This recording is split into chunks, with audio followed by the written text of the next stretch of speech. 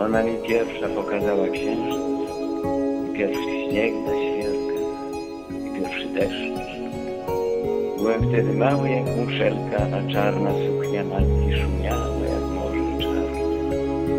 Noc.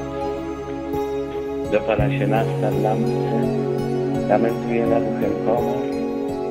Może to ty, matko, jesteś na niebie tymi gwiazdkami kilkoma. Albo na jeziorze żachem wiatr, albo falą może nie pochyli. Może twoje